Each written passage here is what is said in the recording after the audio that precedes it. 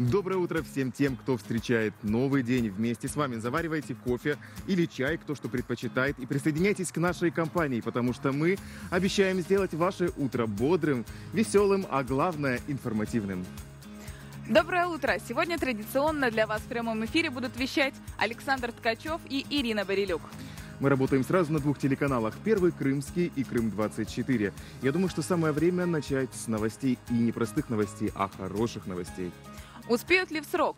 Более 100 пешеходных переходов возле детских садов и школ должны подготовить к 1 сентября в столице Крыма. До учебного года остались считанные дни. Что уже успели сделать дорожники в Симферополе и каких высот достигли в регионах? Об этом в сюжете наших корреспондентов.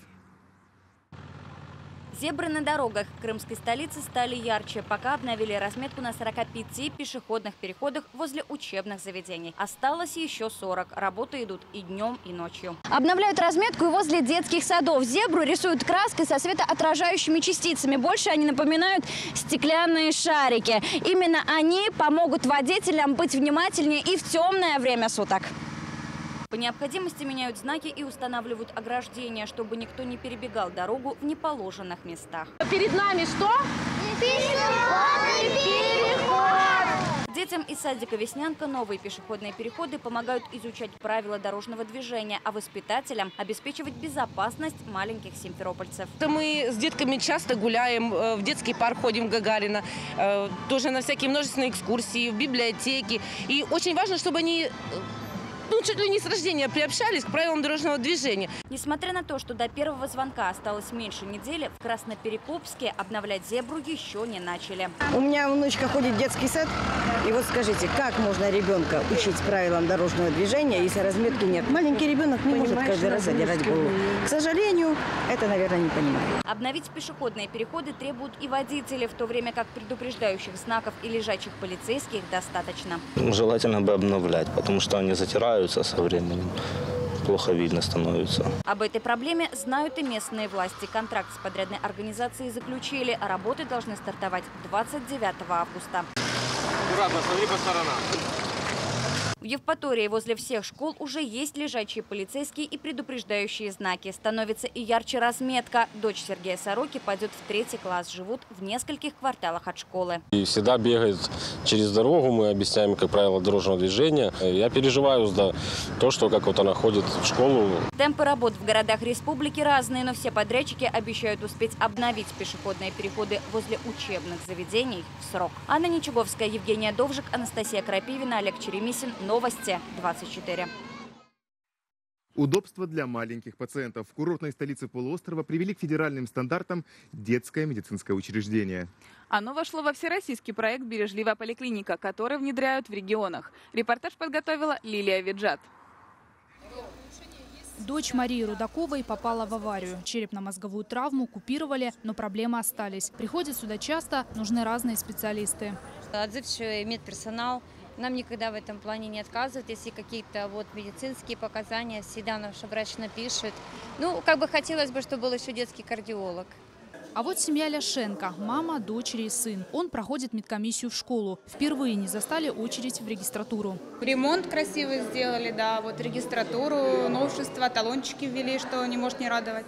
В жемчужине полуострова 18 тысяч детей. Медучреждение для них одно на весь город. И оно попало в программу «Бережливая поликлиника». За полтора месяца поменяли структуру первого этажа. Ввели электронную запись, появилась колясочная.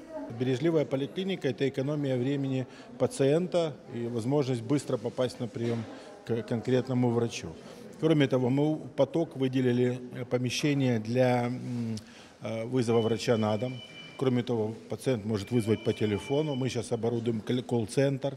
Э, можно записаться э, будет и через систему записи на портале госуслуг. Обновили стойку регистратуры. Поликлинику не реставрировали десятки лет. В ближайшее время подготовят проектно-сметную документацию на капитальный ремонт всего здания. Надо дать должное руководителю медицинской организации, потому что, в общем-то, за счет средств учреждения, за счет спонсорских средств создал достаточно интересную модель, близкую к той модели, которую на сегодняшний день мы называем принцип бережливой поликлиники. Конечно, мы доведем это до соответствия, так как было поручение президента Российской Федерации. Всероссийский проект направлен на создание комфортных условий для маленьких пациентов. Он позволит привести в порядок детские поликлиники не только в Крыму. Бережливая поликлиника распространяется по всем субъектам Российской Федерации. По плану на 2019 год в Крыму определили 9 детских медучреждений. Лилия Виджата и Александр Смычек. Новости 24. Ялта.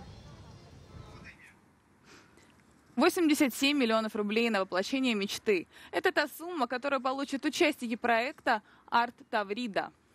Нужно сказать, что театр, кино, музыка, литература, волонтерские движения и десятки других направлений, в каждом из которых выбрали самых лучших. Заветные гранты достались ребятам со всей России. В их числе есть и счастливые крымчане. И об этом расскажет Оксана Куприянова. Таврида 5.0 2019. Поехали. Если бы они снимали кино про свое лето, оно бы начиналось так. Жанр приключенческий, концовка счастливая. 1 миллион 200 тысяч рублей не в лотерею, а за собственный проект. На самом деле, да, было достаточно сложно защищаться, потому что эксперты, ну, они такие ну, суровые ребята, и ты стоишь перед ними, ну, как бы переживаешь. И потом, когда на, ну, меня вызвали на сцену, нас просто порвало, у нас эмоций столько было. На самом деле, ну, не ожидали. Солидная сумма с шестью нулями пойдет на театральную постановку «Солнце за нас». Это социальная драма. По сюжету молодой преподаватель сталкивается с коррупцией. И э, это могло его сломать, но он э, боролся с этим и э, все равно верил в человека. То есть вы верите, что с помощью театра можно победить коррупцию? Я верю, да. И не только с помощью театра, но с помощью искусства в целом. Искусство, которое меняет мир. Фестиваль Таврида Арт, собравший десятки тысяч молодых людей со всей России, подарил каждому из них шанс пройти обучение у лучших наставников, презентовать собственный проект и получить заветный грант на его реализацию. Еще один грант в копилку полуострова. Проект под названием «Красивый Крым». Суть в том, чтобы выпустить развивающие книжки для детей. Его автор Ксения Шульман получила на эти цели 200 тысяч рублей. Вот эти 200 тысяч нам выдали под то, чтобы создать брошюры раскраски. Они будут иметь ориентировочно от 12 до 16 страниц. Скорее всего, это будет А4. А на каждом листе будет изображение вида культурного наследия. Все эти книжки, мы планируем, что их будет около 3000. Мы распространим 1 сентября 2020 года в школах города Симферополя. Таким образом, координаторы проекта хотят привлечь детей к волонтерской работе. Сами же ребята до сих пор под впечатлением от фестиваля «Таврида Арт» такой фестиваль может выпасть для некоторых людей раз в жизни. И поэтому Таврида это было прекрасно, солнечно, ярко. И хотелось бы еще раз. И продолжение следует. В 2020 году фестиваль Таврида Арт снова в Крыму, а к 2022 на месте его проведения в Судаке возведут образовательный центр «Арт-резиденция Таврида». Оксана Куприянова, Андрей Псом, Новости 24. А я напоминаю, что мы находимся на 16 этаже жилого комплекса «Альфа». Можно сказать, прямо на крыше. Декорациями нам сегодня служит Симферополь, столица Крымского полуострова. Именно на улицах Симферополя прекрасно чувствуется, насколько может быть жарким этот день. Кстати, на очередной ассамблее Организации общественных объединенных наций было выявлено, что июль месяц 2019 года стал самым жарким в истории метеонаблюдений. А насколько жарким будет сегодняшний день, давайте узнаем из рубрики «Погода» прямо сейчас.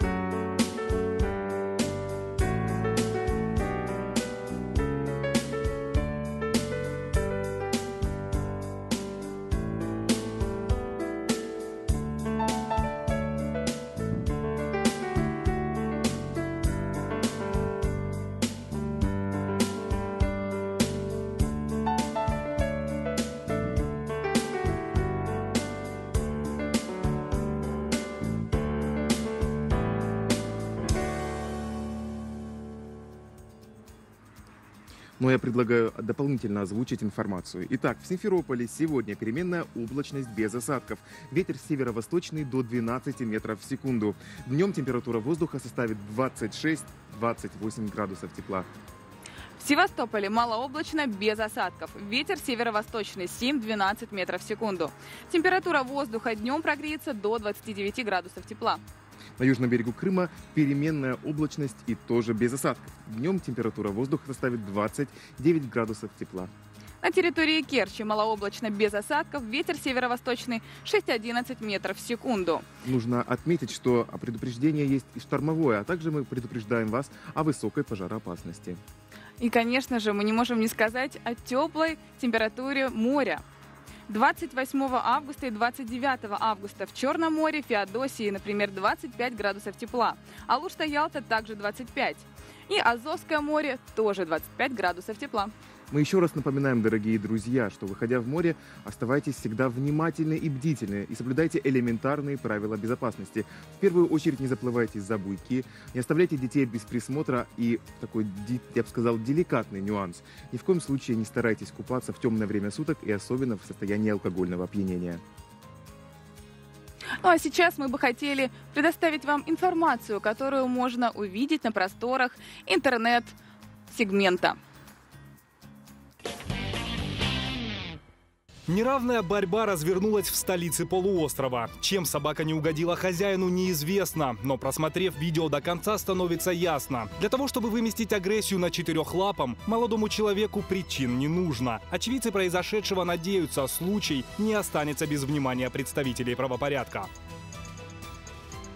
Лето в Ялте – настоящее испытание для автомобилистов. Порой на поиски места для парковки уходит слишком много времени. У этого водителя, по всей видимости, таких сложностей не возникает. А то, что люди не могут пройти к детской поликлинике – не его проблемы. Не теряя ни секунды, увидев, как автомобиль вылетает за границы проезжей части, очевидцы ДТП побежали на выручку. Выломали двери, достали сиденье и помогли людям выбраться. На данный момент причина инцидента неизвестна. К счастью, обошлось без пострадавших. На пути в Крым не может быть преград. Не сговариваясь между собой, автомобилисты убрали с дороги рухнувшее дерево. Всего пару минут и поток машин двинулся дальше. Добиться можно всего, стоит только захотеть. Если природе по плечу разрушить асфальт, то для человека уж точно нет ничего невозможного. Шампиньоны. Просто жесть. Словно по щелчку, двигаясь по Феодосийской трассе, автомобиль вспыхнул без видимых на то причин. Огонь распространился по кузову моментально. Сначала водитель надеялся справиться с возгоранием самостоятельно, но вовремя одумался и позвонил по номеру 101.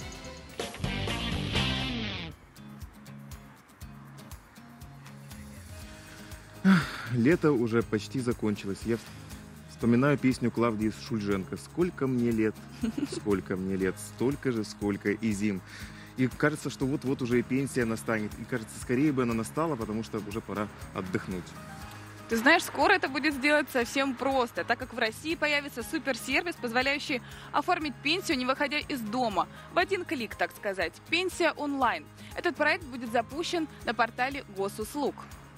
Нужно сказать, что пенсия это всегда очень серьезно, и к этому нужно подходить особенно внимательно. Не менее внимательно нужно относиться и к детскому возрасту, раннему возрасту, потому что как раз для этого периода существует целый ряд специфических болезней, так называемые детские болезни. И о них расскажет наш корреспондент Ольга Литвиненко. Ветряная оспа, краснуха, эпидемический паротит, коклюш, скарлатина, кор – инфекционные заболевания, которые в народе принято называть детскими. При этом нередко имена не оборачиваются серьезными проблемами. Сыпь, зеленые пятна по всему телу – не самая приятная картина, знакомая многим. А вы ветрянкой болели? Нет. Не болели? Нет. А вы вот во взрослом возрасте, вы знаете, какие осложнения могут быть? Знаем, тяжело протекающие. Я помню свои фотографии, такие были красненькие пятнышки. Я стояла вот как раз в таком свитере, кофточке спортивной, и зеленочка была вся замазанная. Вот ну, точно, что были красненькие пятнышки на лице. От всех детских болезней, если во взрослом возрасте болеть, то осложнения есть. Светлана Прочитанская помнит, как ее сын перенес эту болезнь в детстве. Она продолжала водить Дмитрия в детский сад, когда началась эпидемия ветреной оспы. Считает, лучше переболеть этим недугом как можно раньше. Пошел в школу, во втором классе заболел. Ура, заболел. Дома посидел 10 дней, как положено, пришел в школу.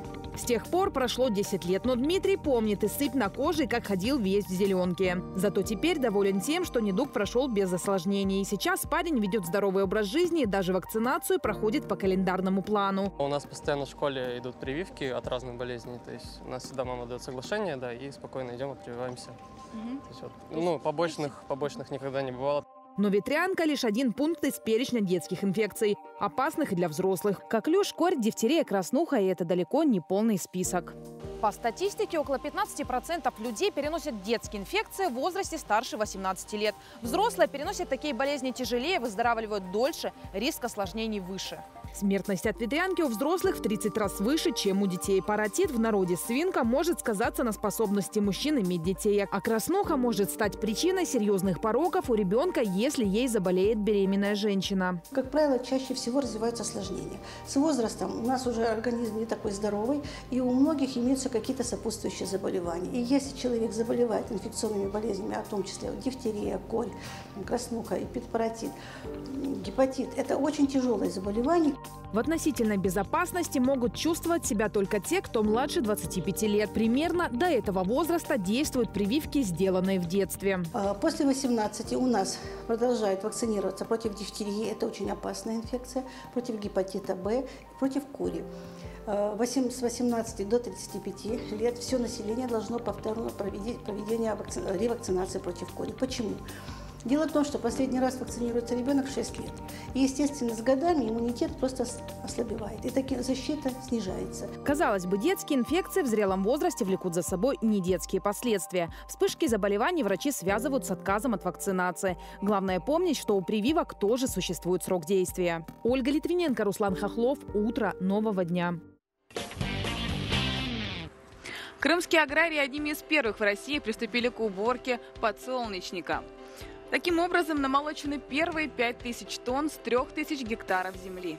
Нужно на- напомнить, что подсолнечник является традиционной культурой для нашего полуострова, потому что он засухоустойчивый и любит обилие света, которого у нас, слава богу, более чем предостаточно. Но напомню, еще не менее важная интересная дата. Дело все в том, что буквально недели ранее наши аграрии приступили к сбору яблок, которых соберут в этом году две с половиной тысячи тонн. Это, безусловно, яркое событие в жизни полуострова. Но чем славен сегодняшний день в ретроспективе? Давайте узнаем из хронографа.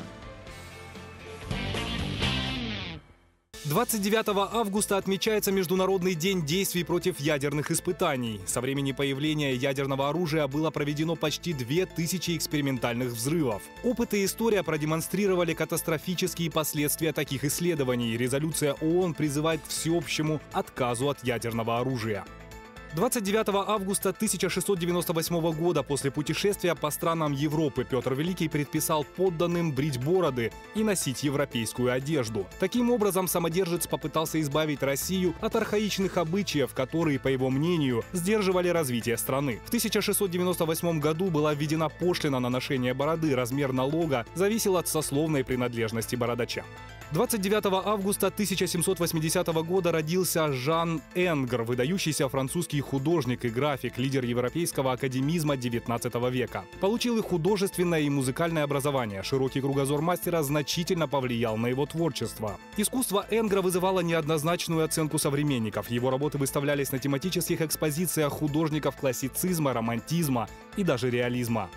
В этот день, 188 лет назад, английский физик Майкл Фарадей открыл явление электромагнитной индукции. Установка, на которой было совершено открытие, состояла из железного кольца, обмотанного проволокой, по которой пускали ток. С помощью этого эксперимента Фарадей установил, что превращать магнетизм в электричество можно с помощью обыкновенного магнита.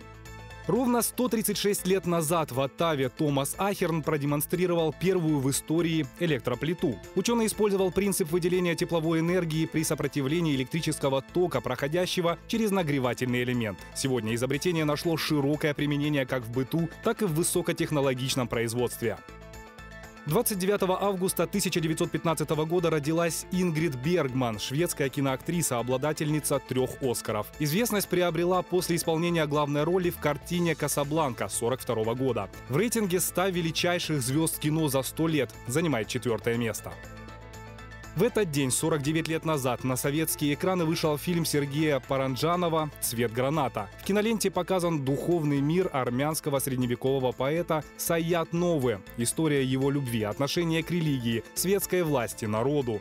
В фильме отсутствует текст, режиссер использовал исключительно визуальный ряд. Из-за этого решения под давлением цензуры картина четырежды подвергалась перемонтажу. Тем не менее, даже в усеченном варианте получила широкое признание во всем мире. Буквально через пару дней прозвенит первый звонок не только для школьников, но и для студентов. Кстати, у нас как раз по этой теме есть гость. Курьянов Владимир Олегович уже сидит на нашем мягком, удобном гостевом диване. Проректор по академической и административной политике Крымского федерального университета имени Вернадского. Ох, вспоминаю свои молодые годы, когда этот институт еще назывался имени Фрунзе. Было такое славное время. Ну, надо сказать, что учился я, конечно, не там, а в другом замечательном заведении. В каком, не скажу. Я надеюсь, Это было слишком расскажешь. давно. Доброе утро. Доброе утро. Доброе утро. Доброе утро. Как началось ваше утро нового дня? Замечательно. Погода хорошая, солнце светит. Приехал к вам на эфир. Это уже хорошо. Но я подозреваю, что у вас как раз сейчас самые горячие деньки, потому что несколько дней и все начнется. Ну, в этом смысле, конечно. Хотя можно откровенно сказать, что основное напряжение уже спало. Все-таки основная вступительная кампания завершилась в Крымский федеральный университет. Вот, но буквально через несколько дней начало учебного года, когда и первокурсники, и студенты старших курсов вновь займут аудитории, и все начнется сначала. Поделитесь с нами, сколько абитуриентов в этом году поступили к вам в институт? Э, В Крымский федеральный университет поступило суммарно на все уровни обучения более 5000 человек. Бакалавриат и специалитет, естественно, это преимущественный объем. Там и план приема был достаточно высокий, около трех тысяч. И, соответственно, дальше уже по убыванию магистратура полторы тысячи. Э, Соответственно, аспирантура, ординатура там по 100 с небольшим человек. Скажите, насколько справедливо заявить, что наш вуз является ваш вуз самым круп, одним из самых крупных в России? Это действительно так? Это действительно так. Это определяется и численностью обучающихся, их более 30 тысяч, с учетом приема уже на первый курс порядка 31 тысячи. Соответственно, и э, трудовой коллектив около 6 тысяч человек. Это тоже достаточно внушительная цифра. Но меня очень волнует вопрос. Вот в мое время, в бытность моей молодости, я помню, когда мы поступали, мы были такими мастодонтами всех наук. А вот насколько сейчас изменилось положение, насколько современные бывшие школьники подготовлены к взрослой жизни и их вот уровень образования, как вы оцениваете? Вы знаете, одной фразой оценивать очень сложно, потому что дети поступают разные. Если мы ретроспективу сделаем лет на 30 назад, мы получим другую картину. Это естественно. Это естественно, потому что было меньше направлений подготовки и специальностей. Это естественно, потому что была общая на всю страну школьная программа по всем предметам.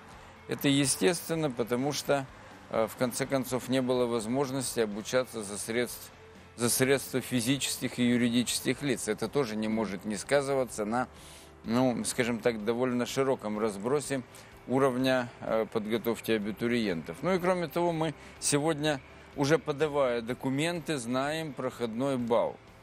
И э, установленный проходной балл не очень высок, потому что все-таки задача стоит не только в том, чтобы отобрать лучших. Это ключевой момент, конечно, в работе любого университета. Но и поскольку мы все-таки вуз, хоть и называемся федеральный университет, но для нас чрезвычайно важно решение региональных задач, мы, безусловно, поэтому пока сильно не поднимаем планку.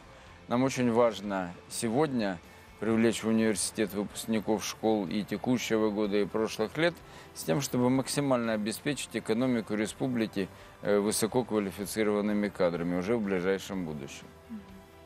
А уровень подготовки, я вам скажу так, э, знаете, в этой жизни всегда все зависит от тебя лично.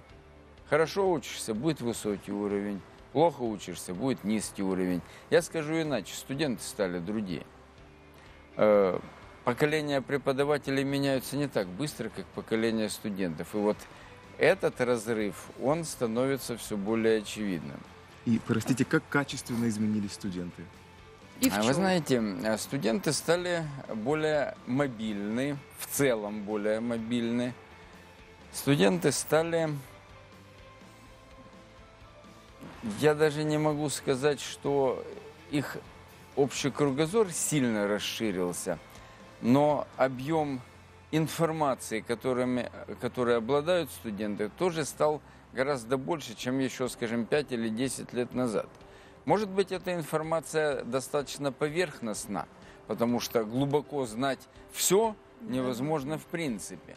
Но это накладывает очень серьезный отпечаток на, э, скажем так, социальную сторону жизни университета. Нужно учитывать очень много нюансов в работе со студентами не только во время учебных занятий, но и во внеучебной работе. В организации разного рода, ну, скажем так, социальных инициатив. Нужны новые смыслы в работе с ними, потому что без этого сегодня контакт между преподавателем и студентом принципиально невозможен. Сегодня преподаватель хочет, не хочет, он э, независимо фактически от возраста обязан освоить и социальные сети, и Инстаграм, и многое другое. То, что для студента сегодня это, знаете, мелкие орешки. Щелкнул и побежал дальше. А вы пользуетесь Инстаграмом? Конечно.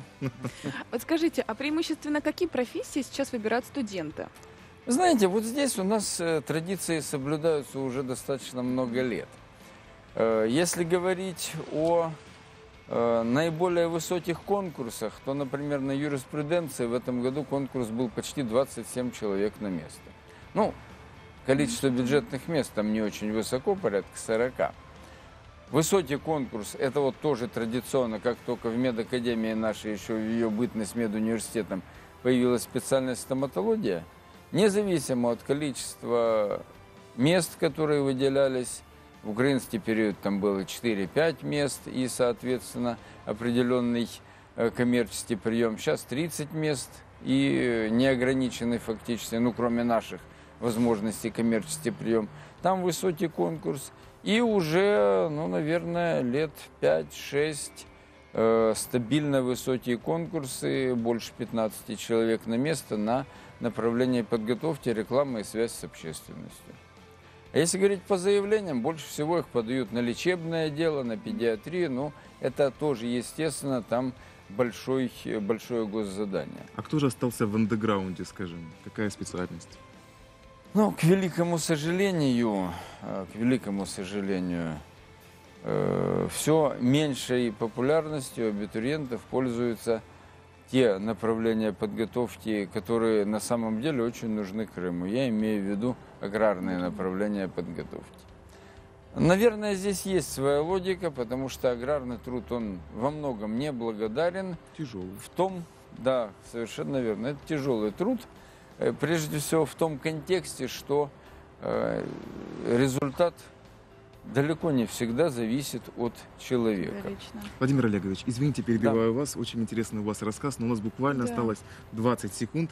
Я попрошу вас обратиться к тем, кто буквально скоро сядет за партой, пожелать им чего-нибудь хорошего в наступающем учебном году. Ну что ж, друзья, поступившие на первый курс, независимо от учебного заведения, я всем вам желаю добиться в жизни той цели, которую вы поставили перед собой, поступая в то или иное высшее учебное заведение. Ваши дороги будут меняться, возможно, не один раз в этой жизни, но э, каждый раз вы должны оставаться людьми, оставаться профессионалами, оставаться гражданами, гражданами нашей великой страны. И вот это, наверное, ключевое. А мы благодарим большое за... Вам спасибо. Да, спасибо большое. Мы благодарим за предоставленную полезную информацию и напоминаем, что сегодня в гостях был Курьянов Владимир Олегович, проректор по академической административной политике Крымского федерального университета имени Вернадского.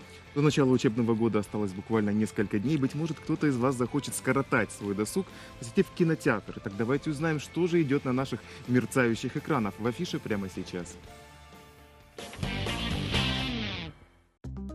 В кинотеатрах Симферополя продолжается показ захватывающего фильма ужасов «Страшные истории для рассказа в темноте». Сюжет рассказывает классическую для жанра историю. В вечер Хэллоуина школьники находят странную книгу. Все, что в ней написано, сбывается в самый неподходящий момент. Смогут ли ребята справиться со смертельно опасными чарами?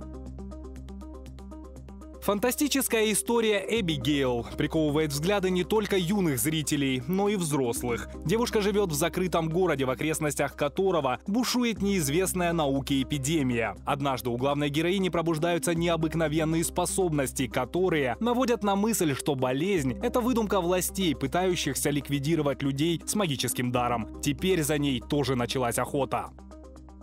Вниманию зрителей российская драма «Бык». Она описывает события 1997 года. Это время борьбы и хаоса, разрухи и выживания. Преступность активно диктует свои правила на улицах. Вожак одной из таких банд, молодой лидер по прозвищу «Бык», он делает все, чтобы найти место под солнцем и защитить семью. Для любителей острых ощущений премьера фильма «Капкан». Флориду настиг мощный ураган. Жители эвакуируются из затопленных домов. Только смелая и бесстрашная Хейли, несмотря на буйство стихии, остается в доме и продолжает поиски потерянного отца. И это далеко не все, что ждет девушку.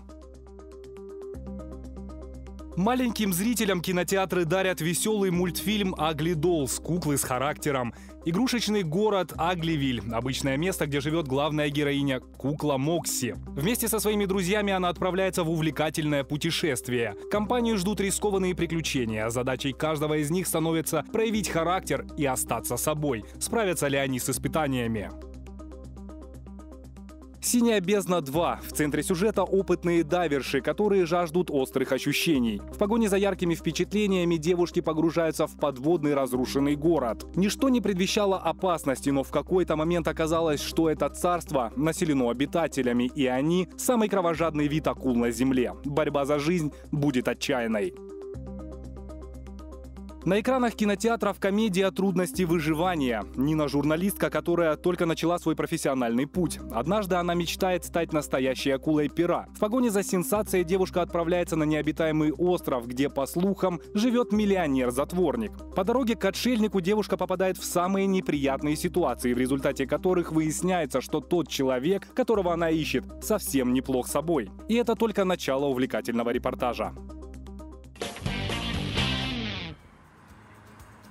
Только 15% крымских школ охраняются специалистами. Сегодня 66 образовательных организаций оснащены тревожными кнопками. Ну а сейчас на улицах крымской столицы находится наш мобильный корреспондент. Я сомневаюсь, конечно, что он проверяет по школам, находятся ли там кнопки, но все же что-то полезное, мы уверены, он нам сейчас расскажет. Александр Кононов, доброе тебе утро. Доброе утро, Саша. Доброе утро, коллеги! На календаре по-прежнему лето, хотя его осталось совсем немного, а это значит, что уже очень скоро начнется учебный год. Прямо сейчас я нахожусь возле первой гимназии, которая расположена по улице Карла Маркса, 32. Вы можете видеть прямо за моей спиной э, огромную надпись на школе «Добро пожаловать». Вот в, в, вовнутрь школы нас не пустили в целях безопасности, и это очень хорошо. Мне стало известно, что около 6 тысяч детей в этом году пойдут в первый класс в Симферополе.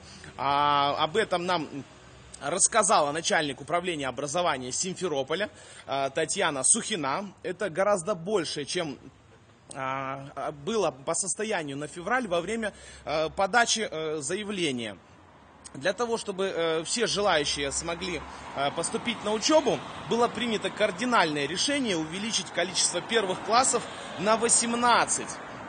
При этом многие классы будут насчитывать более 30 учащихся. Представляете, сколько детей будет в школе, как э, придется справляться вообще учителям не знаю, будут они готовы к этому или нет, но знаю точно, что уже все э, образовательные учреждения основательно подготовились, они полностью укомплектованы всем необходимым инвентарем и э, все, э, всеми пособиями. Э, количество первоклассников, э, которые э, будут учиться в этом году, ровно на тысячу больше, чем в предыдущем. Э, я, э, мне остается только э, пожелать первоклассникам удачи, сказать им, чтобы они учились на пятерке и, конечно же, радовали родителей. На этом у меня все. Коллеги, передаю вам слово. Спасибо, Саша, за интересный Спасибо. рассказ. Но у меня тоже есть что дополнить и рассказать интересного. Дело все в том, что вот у меня, например, шесть детей. И собрать ребенка в школу – это целая беда, потому что стоит это не меньше 10 тысяч дол- э, рублей за, ну, хотел сказать долларов, рублей, долларов слава это... богу. Это было бы совсем круто. Но 10 тысяч рублей – это тоже немало. А если их 6, Конечно. это вообще получается сумасшедшая цифра. И более того, нужно сказать, что средний чек за э, сбор ребенка в школу возрос почти на 10%, а это суммарно составляет около 200 рублей за единицу товара. Да, действительно, это дорогостоящее удовольствие отправить детей в школу, и родители Хотелось бы верить, что с этим справляются и делают это очень успешно. Но, как говорится, мир не без добрых людей, и иногда все же на помощь могут приходить совсем посторонние организации и люди. Об этом подробнее нам расскажет корреспондент Татьяна Балыкина.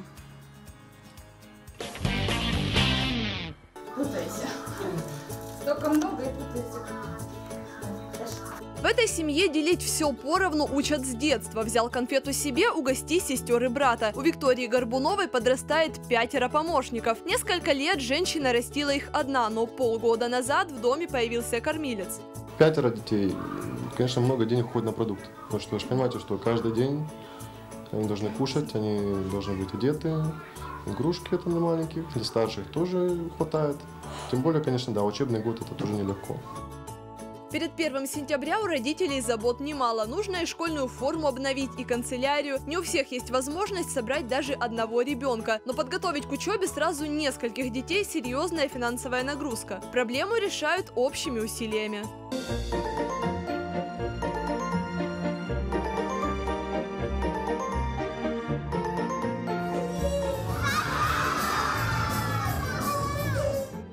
95 школьников с 1 по 5 класс из семей с небольшим достатком. Неравнодушные люди подарили детям настоящий праздник прощания с летом, а вместе с ним и новые учебные принадлежности. Внутри ранца ручки, тетрадки, альбом для рисования, цветные карандаши. Целый набор канцелярии, которая может понадобиться школьнику в течение года. Останется теперь только хорошо учиться и радовать родителей отличными отметками в дневнике.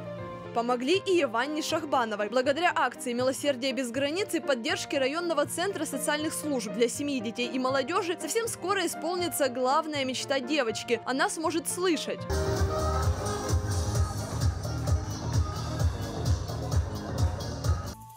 Городская администрация вместе с местными предпринимателями помогают малоимущим семьям с ремонтом, организовывают детям досуг, собирают их в школу. Наши предприниматели, представители всего, всего сообщества Черноморского района оказывают помощь детям из малообеспеченных семей. Мы же прекрасно понимаем, что не у каждого ребенка сегодня есть возможность достойно собраться в школу. И не зависит это от ребенка. Но так оказалось в жизни трудный момент, а мы должны помочь. До начала учебного года осталось меньше недели. Теперь, когда все необходимые принадлежности в рюкзаках, оценки в дневнике зависят только от старания самих школьников. Татьяна Балыкина, Алексей Семенов. Утро нового дня. Испокон веков благотворительность была широкой чертой русской души. Немало фестивалей проходят на территории не только Российской Федерации, но и в частности Крымского полуострова, да, вот таких благотворительных фестивалей. По поводу того, какой именно фестиваль уже пять раз проходил на нашем Крымском полуострове, сейчас нам расскажет наш гость. Абсолютно верно. Я предлагаю которому... к нему присоединиться. Да. Николенко Владимир Михайлович, художественный руководитель камерного хора Крымской государственной филармонии «Таврический благовесть». Фестиваль мастера искусств Крыма стал традиционным. А, он получил новое, новое название, новую обертку. Теперь он называется «Музыка дарит жизнь». И действительно, музыка может дарить жизнь? Конечно. Без музыки, без музыки жизнь невозможно. Помню, когда-то учился в музыкальной школе, там была такая надпись «Без музыки я не могу прожить и дня». Она вокруг меня. Доброе утро. Доброе утро. Доброе утро, Владимир Михайлович. Уже в прямом эфире? Мы уже в прямом эфире. Да? Прекрасно. Доброе утро. Доброе утро, маэстро. Как начался ваш день? Ну, знаете, я сегодня рано проснулся, вот приехал к вам на крышу с тем, чтобы рассказать об очень интересных событиях музыкальной жизни Крыма, которые грядут у нас. Так что же Какие, это за события? Да, события? Э, ну, вы знаете, в этом году происходит у нас пятый благотворительный фестиваль, который мы назвали в этом году «Музыка дарит жизнь». Главная цель этого фестиваля – собрать деньги для детей, которые страдают онкологическими заболеваниями и находятся на излечении в нашей детской республиканской клинической больнице. Фестиваль проходит уже пятый год подряд. Было исполнено много прекрасной музыки. В этом году для фестиваля мы избрали замечательное сочинение нашего современника, аргентинского композитора Мартина Палмери «Месса Буэнос-Айрес», иначе она называется «Месса Танго». Это очень необычная музыка, посвящена она великому Астору Пьяццолле и сохранен стиль этого композитора. Э, в то же время это такой, знаете, синтез э, классической музыки, классических традиций, джаза, а, танго аргентинского. И, конечно, эта музыка очень демократична, она понятна всем, даже самому неподготовленному человеку, и поистине прекрасна. Я думаю, что все, кто придут на фестивальные концерты, они запомнят их на многие-многие годы, может быть, даже на всю жизнь, и насладятся прекрасной музыкой. Владимир Михайлович, но я знаю, что не вы, не вашими силами только, я имею в виду крымских музыкантов, будет исполнено это произведение. Э, да, вы знаете, в этом году к нам на подмогу приезжает замечательный хор Э, это лауреат международных конкурсов, камерный хор Челябинской государственной филармонии. Мы давно сотрудничаем с ними. Между Челябинской и Крымской филармонией заключен договор о дружбе, о сотрудничестве. И вот это такой подарок, который, который нам преподносит руководство Челябинской филармонии. Но это еще не единственный подарок. Э, у нас свершится еще одно событие и в рамках фестиваля, и и также и не в рамках фестиваля. Челябинская филармония приобрела очень дорогой инструмент, переносной перевозной орган. Mm. И впервые в истории Симферополя у нас зазвучит орган стараниями, опять-таки, руководства Челябинской филармонии.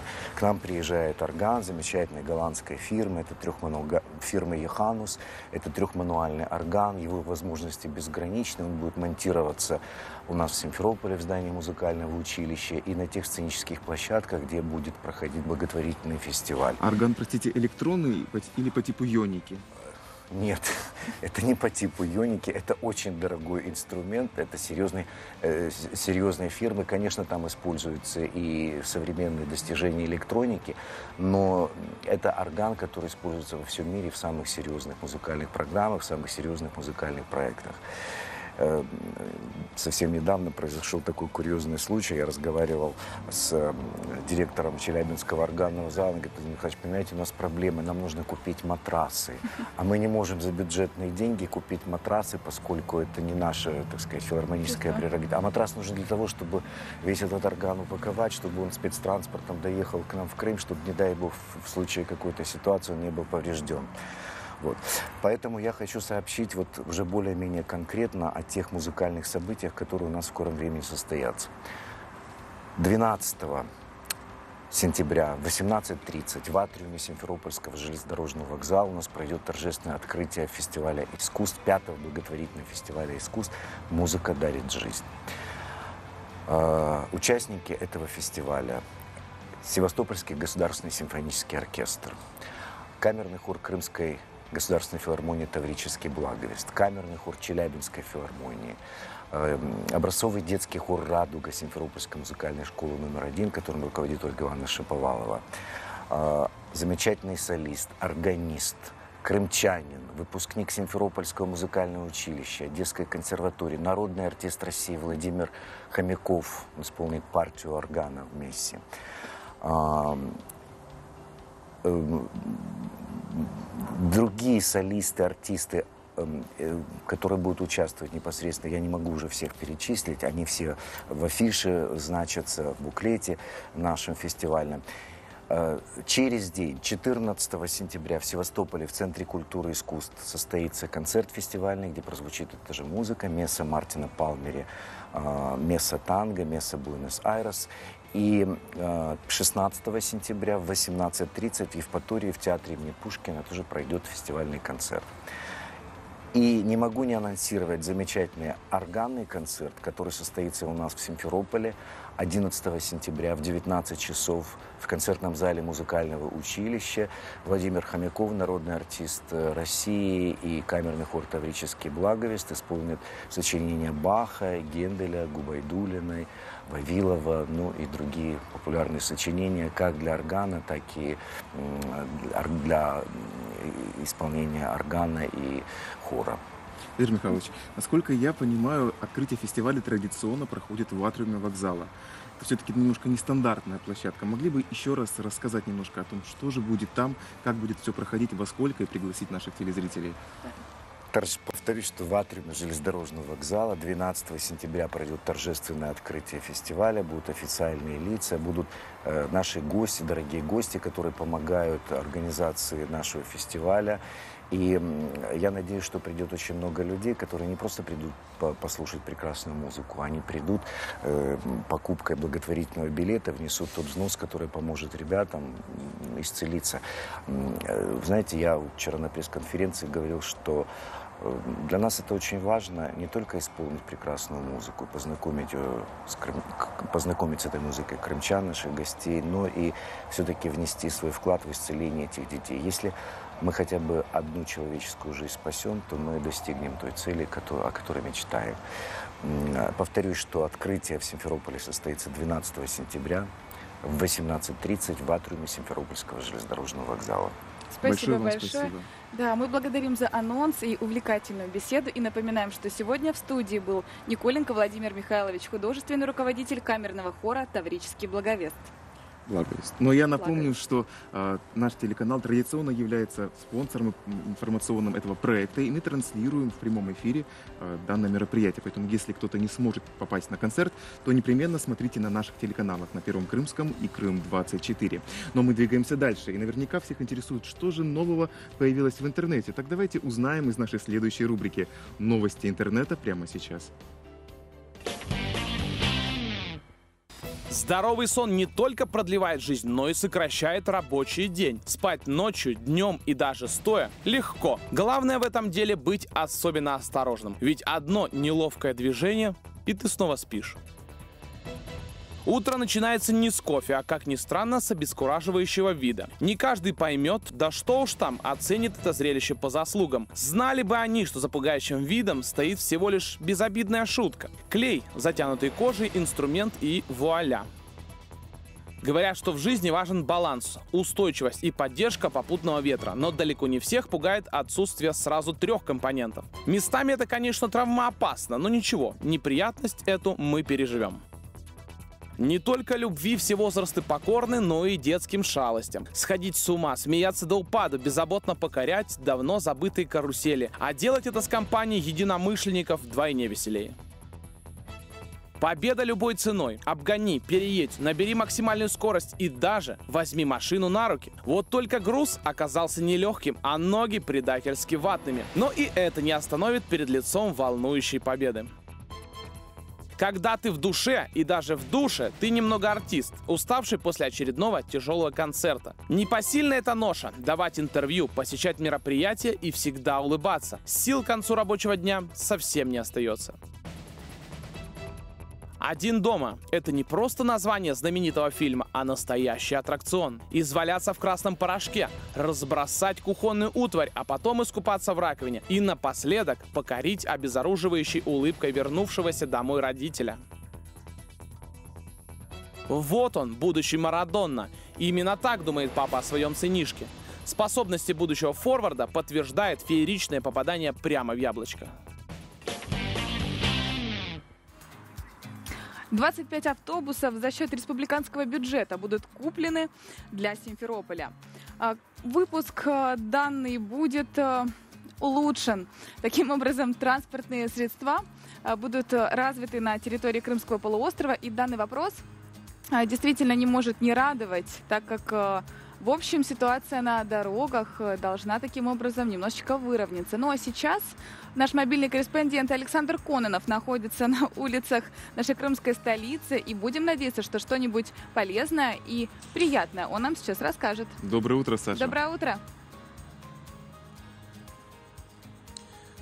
Да, коллеги, э, уже, я думаю, что по мне заметно, как поднялось теплое летнее солнышко.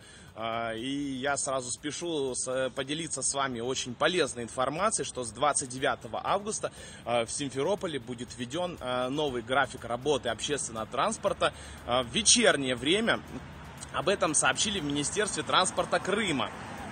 Так, с 8 вечера до 11.00 на линию будут выходить 100 автобусов и троллейбусов. Это 25% всего подвижного состава города Симферополя. Интервал движения будет где-то не более получаса. За этим будут очень жестко следить. Вот, график, за графиком движения контроль будет усилен. График движения э, троллейбусных маршрутов в вечернее время э, составлен с учетом интервальности и направления рейсов, э, чтобы избежать дубляжа маршрута. Вот, а об этом сообщили в Минтрансе. Также будут э, куплены еще 25 автобусов э, за счет э, городского, э, респуб... за, счет республиканского бюджета. И я думаю, что когда их выпустят э, на городские маршруты, ситуация в транспортной сфере значительно улучшится. И такое решение вообще было принято по результатам обращения граждан. И э, уже э, обещается, что дополнительные автобусы выйдут на свои маршруты э, с 1 сентября. Ну, что ж, остается только э, порадоваться. Э, и я думаю, что люди, которые э, ездят в вечернее время, смогут э, беспрепятственно и спокойно э, добраться до дома. При этом э, не, не потратиться на такси, а уехать на городском транспорте. Э, на этом у меня все. Коллеги, передаю вам слово.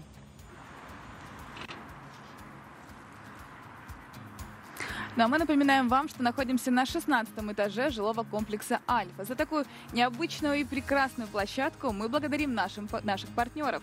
Хочется отметить, прости, что я тебя перебила, хочется отметить, что сегодня на календаре 29 августа и на территории Крымского полуострова пройдет проект «Картинг без границ».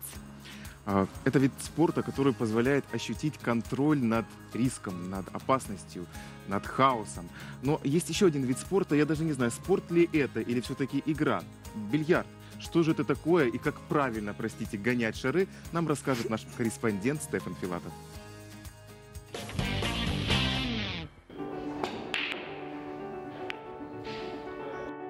Зеленое полотно, лузы, шары и кий. Бильярд появился в середине 15 века и до сих пор игра почти не изменилась. Сегодня по этому виду спорта проходят соревнования и чемпионаты. Призовой фонд в бильярде один из самых больших. Миллионы человек мечтают получить титул лучшего из лучших и выиграть приз.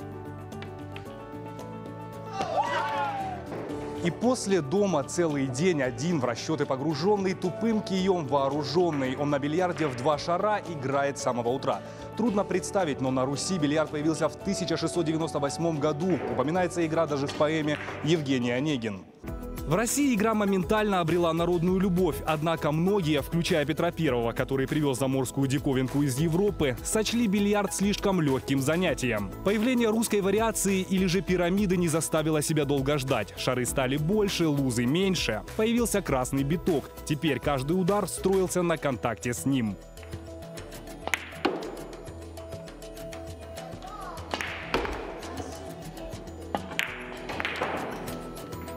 Сегодня основных видов бильярда 4. Помимо пула, снукера и французской карамболи в этом списке и русская пирамида. Вне зависимости от этого базовое обучение одинаковое для всех стилей.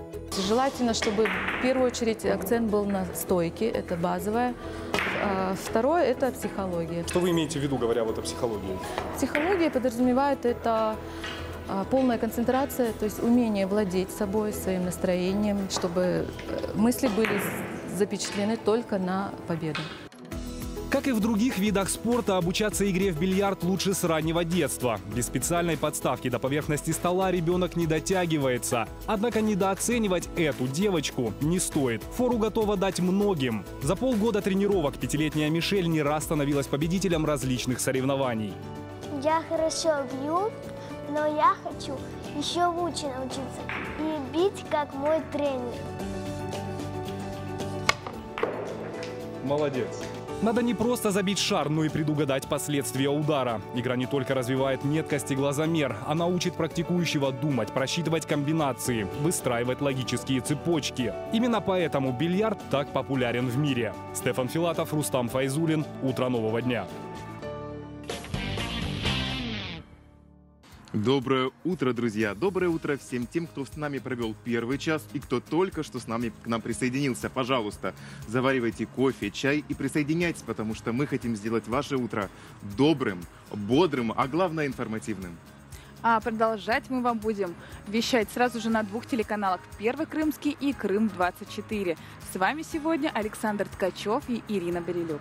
Я надеюсь, что вы все, дорогие друзья, уже привык, привыкли к нашим декорациям. На заднем плане у нас панорама города Симферополя. Мы находимся высоко, на 16 этаже жилого комплекса «Альфа» и благодарим партнеров за предоставленную площадку. А сейчас самое время начать с новостей, точнее продолжить. Успеют ли в срок, как ты думаешь? Будем надеяться, что успеют. Более 100 пешеходов перед детскими садами и школами должны обновить к 1 сентября в крымской столице.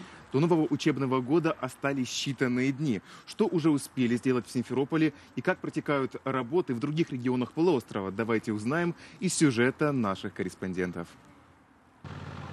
Зебры на дорогах крымской столицы стали ярче, пока обновили разметку на 45 пешеходных переходах возле учебных заведений. Осталось еще 40. Работы идут и днем, и ночью. Обновляют разметку и возле детских садов. Зебру рисуют краской со светоотражающими частицами. Больше они напоминают стеклянные шарики. Именно они помогут водителям быть внимательнее и в темное время суток. По необходимости меняют знаки и устанавливают ограждения, чтобы никто не перебегал дорогу в неположенных местах. Перед нами что? Пешеходный переход!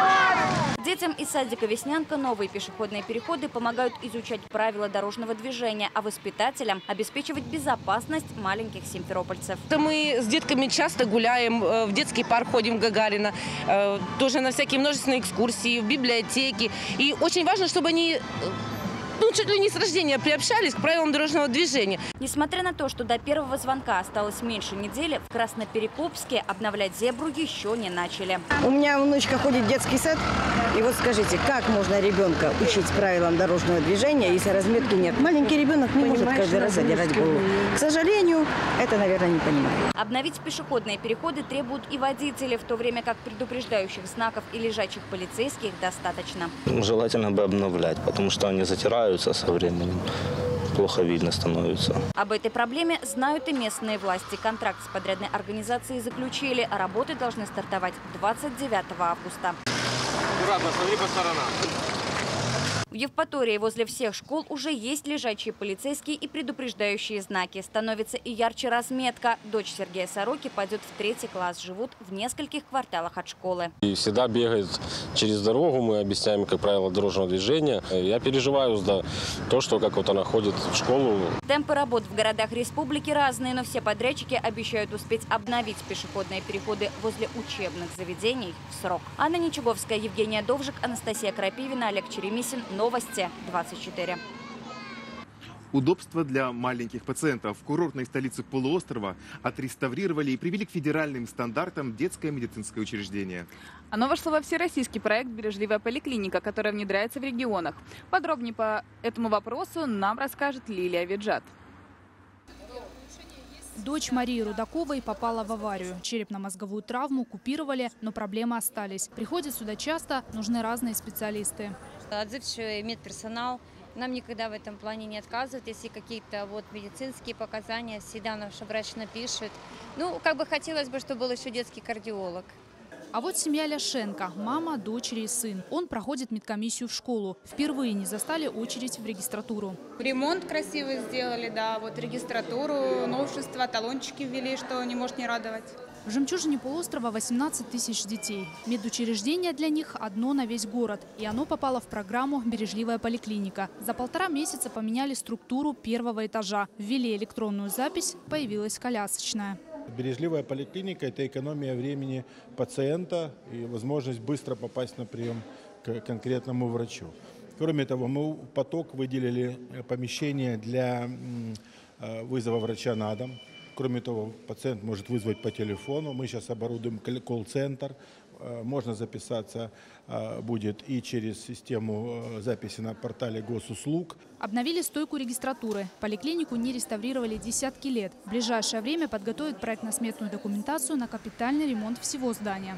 Надо отдать должное руководителю медицинской организации, потому что, в общем-то, за счет средств учреждения за счет спонсорских средств создал достаточно э, интересную модель, близкую к той модели, которую на сегодняшний день мы называем принцип бережливой поликлиники. Конечно, мы доведем это до соответствия, так как было поручение президента Российской Федерации. Всероссийский проект направлен на создание комфортных условий для маленьких пациентов. Он позволит привести в порядок детские поликлиники не только в Крыму. Бережливая поликлиника распространяется по всем субъектам Российской Федерации. По плану на 2019 год в Крыму определили 9 детских медучреждений. Лилия Виджата, Александр Смычек, Новости 24, Ялта. Ира, я думаю, что тебе хорошо известно слово «таврида», которое означает греческое название нашего солнечного полуострова. И наверняка ты знаешь иностранное слово, английское слово «арт». Вот я думаю, возможно ли совместить два эти понятия, как гений и злодейство? Как оказалось, вполне возможно, так как Таврида Арт, да, фестиваль творческого искусства, проходил совсем недавно на нашем Крымском полуострове. Ты бывала там, побывала, успела Я ли? очень хотела попасть, но, признаюсь тебе честно, не успела. И объясню, по какой причине. Более 45 тысяч человек было зарегистрировано на этот э, фестиваль что превысило в два раза ожидания организаторов. И в связи с этим они решили приостановить регистрацию, и таким образом я не успела, к сожалению. Ну ничего, зато там побывали наши корреспонденты. И, кстати говоря, на фестивале выдавали гранты. Знаешь ли ты об этом? Да, я слышала о том, что выдавали грант, и самое интересное, что 87 миллионов рублей а, было получено участниками проектов самых разных. Театр, литература, кино. А, тематика была абсолютно разнообразная. Вот. В каждом из направлений выбрали лучших. А, заветные гранты получили в том числе и крымчане среди других жителей России, нашей необъятной родины. Так вот, а, с ними пообщалась с крымчанами, которые получили гранты, наш корреспондент Оксана Куприянова. И как раз к ее сюжету мы сейчас и переходим. Таврида 5.0 2019. Поехали. Если бы они снимали кино про свое лето, оно бы начиналось так. Жанр приключенческий, концовка счастливая. 1 миллион 200 тысяч рублей не в лотерею, а за собственный проект. На самом деле, да, было достаточно сложно защищаться, потому что эксперты, ну, они такие ну, суровые ребята, и ты стоишь перед ними, ну, как бы переживаешь. И потом, когда на, ну, меня вызвали на сцену, нас просто порвало, у нас эмоций столько было. На самом деле, ну, не ожидали.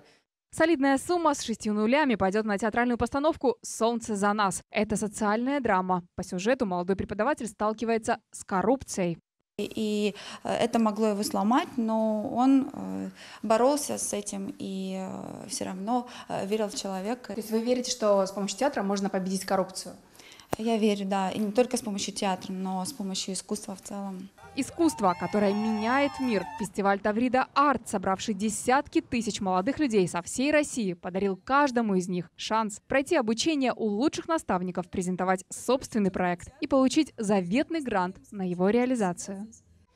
Еще один грант в копилку полуострова. Проект под названием «Красивый Крым». Суть в том, чтобы выпустить развивающие книжки для детей. Его автор Ксения Шульман получила на эти цели 200 тысяч рублей. Вот эти 200 тысяч нам выдали под то, чтобы создать брошюры раскраски. Они будут иметь ориентировочно от 12 до 16 страниц. Скорее всего, это будет А4.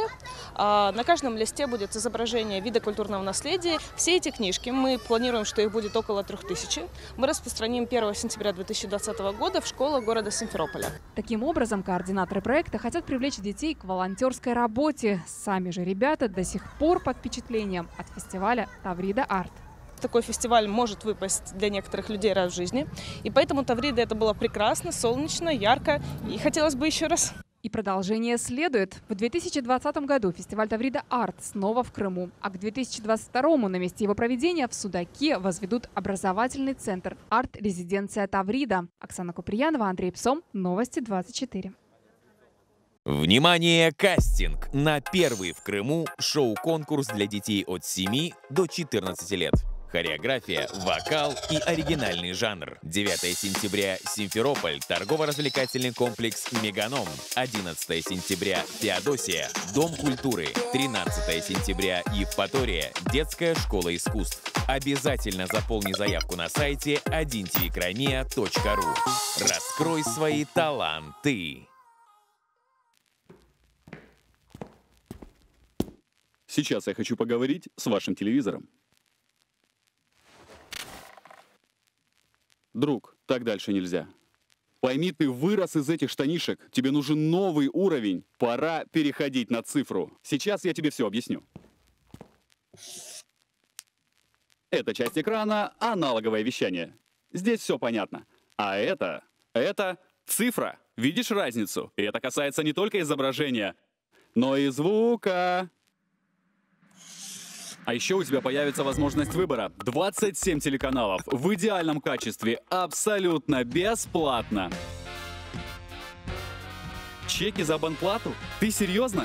Забудь о них! Добро пожаловать в эру цифрового телевидения! Нравится? Приставка Т2. Твой проводник в цифровой мир. Остались вопросы, звони по этому номеру. Ну что, готов?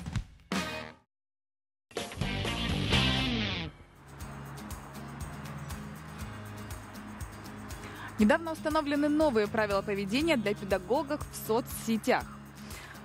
Что же нового? В первую очередь а, теперь запрещается педагогам вводить такую информацию, которая может повредить физическому здоровью либо развитию школьников. Но что интересно, фотографии в купальниках учителю можно выставить. Наш следующий сюжет не касается темы образования и этики, но позволит вам, дорогие телезрители, немножко образоваться в сфере инфекционных болезней. Что такое детские болезни инфекционные, расскажет Ольга Литвиненко в своем сюжете. Ветряная оспа, краснуха, эпидемический паротит, коклюш, скарлатина, корь – инфекционные заболевания, которые в народе принято называть детскими. При этом нередко имена не оборачиваются серьезными проблемами. Сыпь, зеленые пятна по всему телу – не самая приятная картина, знакомая многим. А вы ветрянкой болели? Нет. Не болели? Нет. А вы вот во взрослом возрасте, вы знаете, какие осложнения могут быть? Знаем, тяжело протекающие. Я помню свои фотографии, такие были красненькие пятнышки. Я стояла вот как раз в таком свитерке, кофточке спортивной, и зеленочка была вся замазанная. Вот ну, точно, что были красненькие пятнышки на лице. От всех детских болезней, если во взрослом возрасте болеть, то осложнения есть. Светлана Прочитанская помнит, как ее сын перенес эту болезнь в детстве. Она продолжала водить Дмитрия в детский сад, когда началась эпидемия ветреной оспы. Считает, лучше переболеть этим недугом как можно раньше. Пошел в школу, во втором классе заболел. Ура, заболел. Дома посидел 10 дней, как положено, пришел в школу. С тех пор прошло 10 лет, но Дмитрий помнит и сыпь на коже, и как ходил весь в зеленке. Зато теперь доволен тем, что недуг прошел без осложнений. Сейчас парень ведет здоровый образ жизни и даже вакцинацию проходит по календарному плану. У нас постоянно в школе идут прививки от разных болезней. То есть у нас всегда мама дает соглашение, да, и спокойно идем и прививаемся. Угу. То есть, вот, ну, побочных, побочных никогда не бывало. Но ветрянка – лишь один пункт из перечня детских инфекций, опасных и для взрослых. Коклюш, корь, дифтерия, краснуха – и это далеко не полный список. По статистике, около 15% людей переносят детские инфекции в возрасте старше 18 лет. Взрослые переносят такие болезни тяжелее, выздоравливают дольше, риск осложнений выше. Смертность от ветрянки у взрослых в 30 раз выше, чем у детей. Паротит в народе свинка может сказаться на способности мужчин иметь детей. А краснуха может стать причиной серьезных пороков у ребенка, если ей заболеет беременная женщина. Как правило, чаще всего развиваются осложнения. С возрастом у нас уже организм не такой здоровый, и у многих имеются какие-то сопутствующие заболевания. И если человек заболевает инфекционными болезнями, а том числе дифтерия, корь, краснуха, эпидпаратит, гепатит, это очень тяжелые заболевания.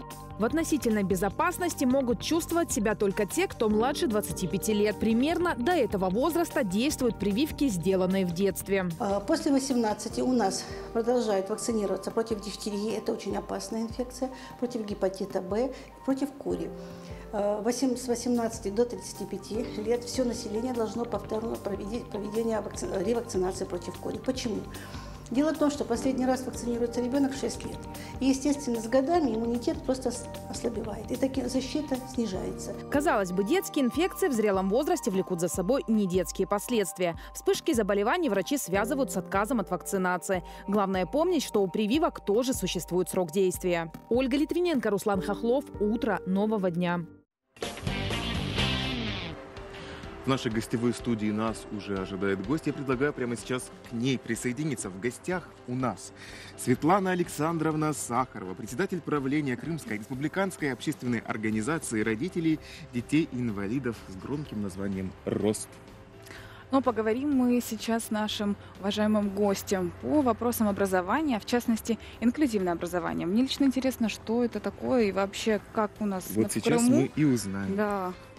Доброе утро. Доброго вам утра. Как началось ваше утро нового дня? Утро нового дня началось очень рано, но я думаю, ваше раньше. Но в целом Это правда. хорошо. Ну что, скажите, пожалуйста, что же такое инклюзивное образование? Вот что это? Вам идеальный вариант или это как сейчас происходит? Самый идеальный. Да. А потом, как сейчас. Самый идеальный вариант – это совмещение образовательного процесса с воспитательным для детей с инвалидностью ограниченными возможностями здоровья с учетом их потребностей, потому что нозологии очень много и ограничений по здоровью большое количество. Но э, нынешняя система инклюзивного образования не позволяет это все реализовать. И здесь очень много деталей и нюансов. Э, Я одновременно с тем, что я председатель общественной организации, являюсь заместителем председателя общественного совета при Министерстве образования и вижу картинку изнутри. Не всегда, скажем так, чиновники и управленцы не хотят этого делать. Э, Иногда такие простые истории, как э, маленькие зарплаты, недостаточное количество обученных специалистов не позволяют этого сделать. То есть Да. специалист должен быть каким-то специальным, особо подготовленным. Ну, конечно, представьте себе, в общий класс, что такое инклюзия? Это в общем классе учатся дети с ограниченными возможностями здоровья и без ограничений. Приходит ребенок, который тотально глухой. Как ему приспособиться, да? Совершенно должен- верно. Как вести урок? А если это старшие классы, то должны быть э, в этой системе либо тьютер, сурдопереводчик, сурдопедагог. Это если касается там только тотально глухого ребенка. А нозологии? А с проблемами опорно-двигательного, с проблемами со зрением, а с множественными нарушениями, а с ментальными нарушениями, где везде нужен индивидуальный подход. То есть это какие-то курсы да, для преподавателей или вот что подразумевает подготовку их?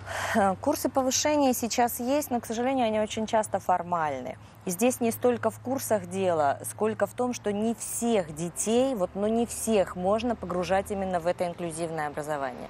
Для некоторых лучше оставлять все-таки коррекционные школы. А есть очень яркий пример. Одна из мамочек нашей организации, у нее дочь слабослышащая, э, водила ребенка в коррекционную школу, но не по профилю слабослышащим. И были сложности в, ос- в освоении предметов общеобразовательной программы. Вот они, значит, перевели ее э, в интернат для слабослышащих, и сразу же, говорит, поменялось все абсолютно. Во-первых, э, стиль преподавания и работы у тех педагогов, которые знают, как преподавать детям слабослышащим, и говорят, что вам ну, не нужно учить эти образы, если они их не понимают и не воспринимают. И сразу же пошел э, другой уровень обучения, девочке стало легче учиться, и она стала с интересом ходить в школу. Вот Насколько Инклюзия важно. должна быть разносторонняя и многогранная, а не просто загнать всех в общеобразовательную школу, и вот у нас инклюзия. Это не об Скажите, а этом. где же готовят таких уникальных специалистов, волшебников? Специалистов-волшебников пока не готовят. А То есть они обычно приезжие с материка, правильно? Нет, у нас есть специалисты, э, у нас очень хорошие коррекционные школы для слабовидящих, для э, слабослышащих детей. И есть коррекционная школа «Надежда», но, эм, честно скажу, там м, не все так гладко, да, тоже есть специалисты, но уровень повышать э, нужно. Есть э, институты повышения последипломного образования. В Крымском педагогическом, э, инженерно-педагогическом университете сейчас открыт, э, насколько я знаю, э, по ВГОСу открыта специальность даже подготовки тьюторов. То есть, но это внедряется вот буквально последние годы, начинают Очень незнакомое внедряться слово программы. для наших телезрителей. Тьюторы. Тьютер. Что Тьюторы, это да, такое? Тьютор – это, да, действительно ругательное слово, но это специалист, который не заменяет учителя, и он не является социальным работником. А кто же А он? кем же, да, он является тогда? Объясняю. Тьютор – это человек, который помогает ребенку осваивать образовательный процесс. Это помощник ребенка и учителя, это некий посредник. Да. Вот при привлечении тьюторов в инклюзивное образование легче классу и легче учителю. Например, приходят дети э, с расстройствами аутистичного спектра, да, и к ним закреплен тьютер. И они он- приходят в общий класс. и они приходят в общий класс. И тьютер видит, когда ребенок устал, и у него меняется поведение, он перестает воспринимать. Тьютер адекват- адекватно оценивает ситуацию. Он может выйти с этим ребенком, потому что это необходимо ребенку в первую очередь и классу, чтобы он не мешал заниматься, они не мешали друг другу. Снимают эту нагрузку эмоциональную, ребенок возвращается, они продолжают заниматься дальше. То есть вот функционал у тьютера корректировать э, образовательную деятельность для ребенка. Светлана Александровна, прошу прощения, осталось буквально 30 секунд. Хорошо.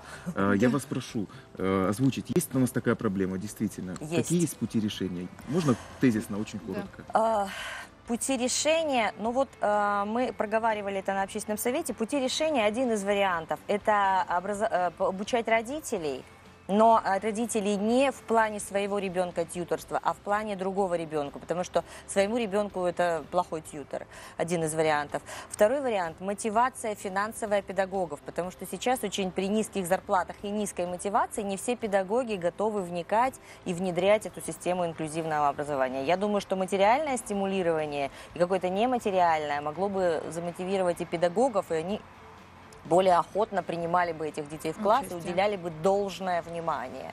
И еще, скорее всего, это большой блок некой социальной рекламы, разъяснительной для самих детей об особенностях, чтобы они впускали в класс, чтобы не включался буллинг.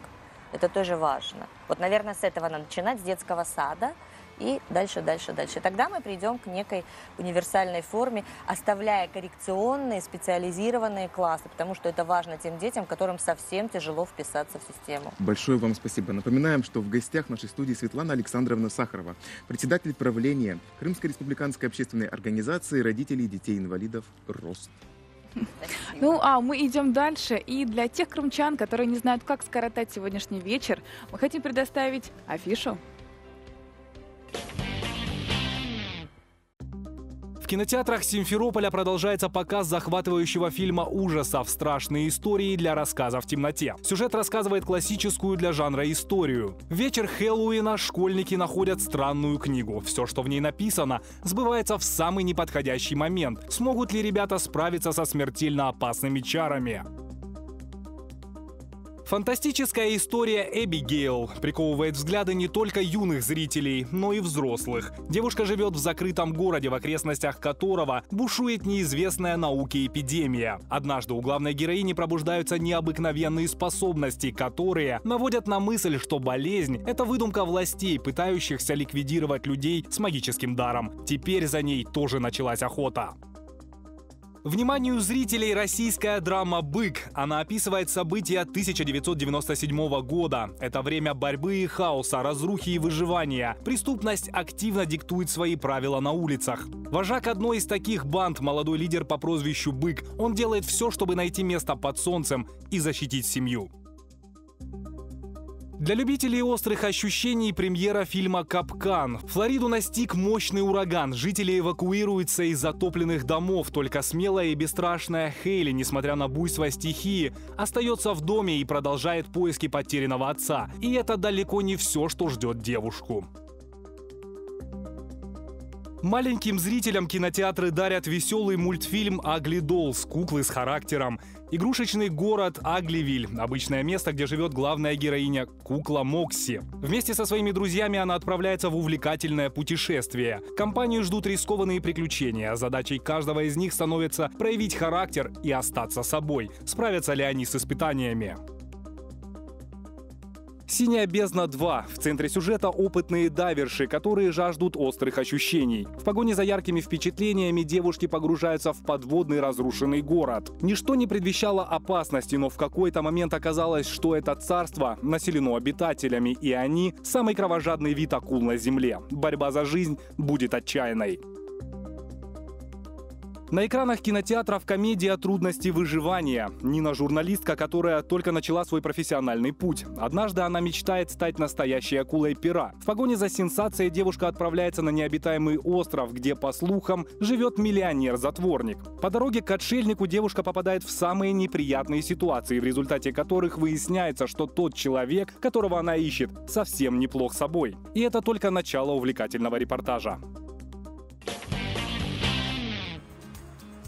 Крым за год сократил практически в два раза очередь в детские сады. Если в прошлом году была актуальная цифра 19, то в этом году 11 тысяч человек, которые стоят в очереди. Конечно, это очень хорошая цифра. Но нужно сказать, что планируется еще сократить ее до 7 тысяч человек уже буквально в следующем году. Это та новость, которую активно обсуждают в интернете. Но что же еще там интересного?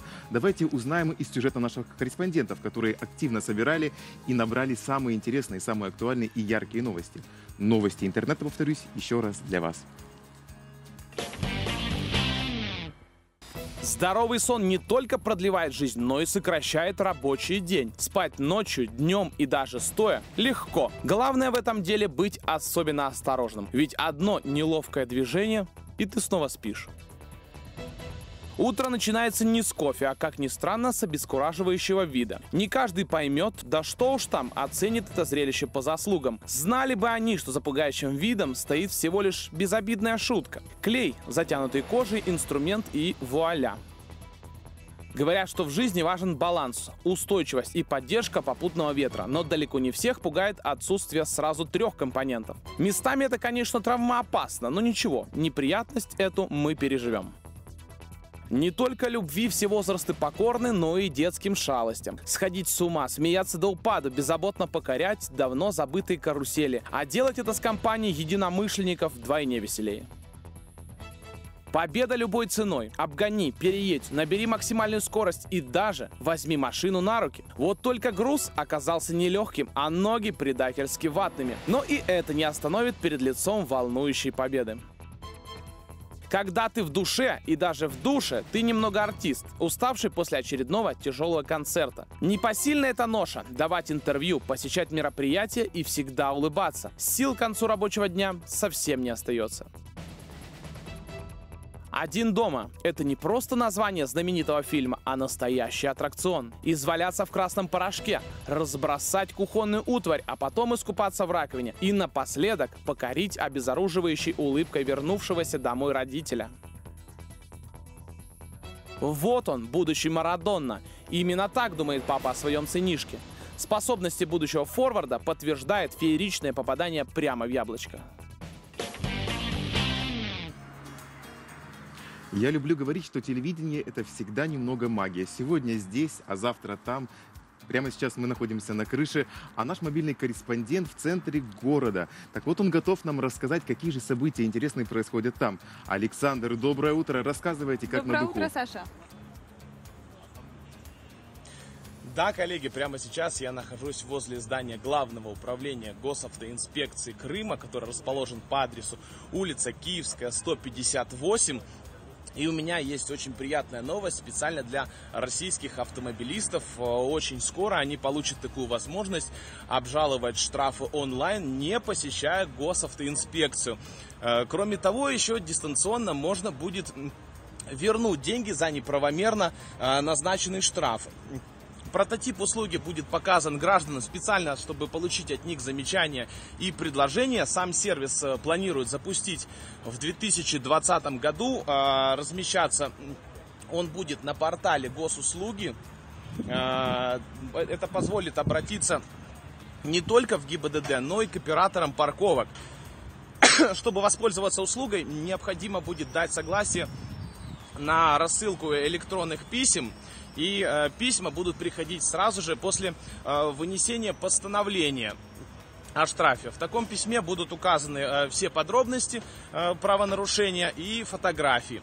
Если граждане не согласны э, со своими правонарушениями, они будут обязаны прикрепить доказательства э, в виде видеофиксации со своих регистраторов. И, э, возможно, то, что все-таки э, штраф будет обжалован. Э, по словам экспертов, на сегодняшний день нет еще эффективного механизма обжалования штрафов с, камер. Но э, я надеюсь э, на то, что к 2020 году все поменяется кардинально. На этом у меня все. Коллеги, передаю вам слово.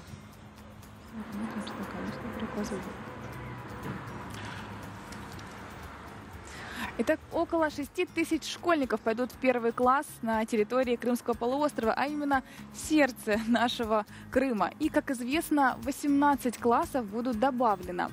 А, это намного большее количество, чем было поданных заявлений в феврале. То есть школьников все-таки их количество растет?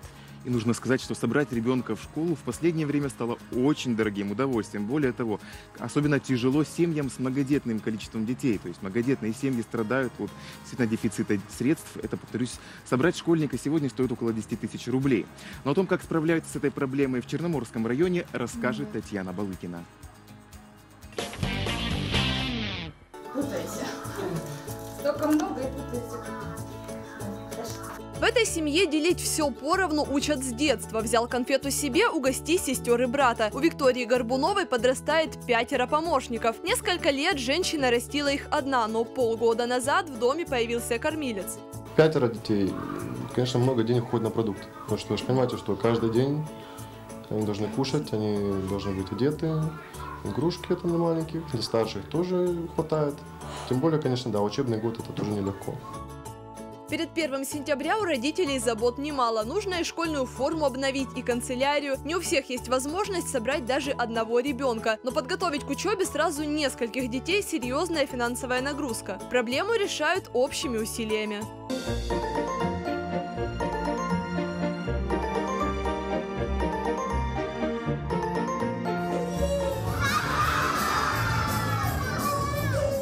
95 школьников с 1 по 5 класс из семей с небольшим достатком. Неравнодушные люди подарили детям настоящий праздник прощания с летом, а вместе с ним и новые учебные принадлежности.